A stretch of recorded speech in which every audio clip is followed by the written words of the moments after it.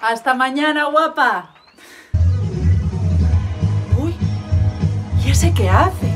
Pero si en vez de mascarilla lleva máscara. Está pintado.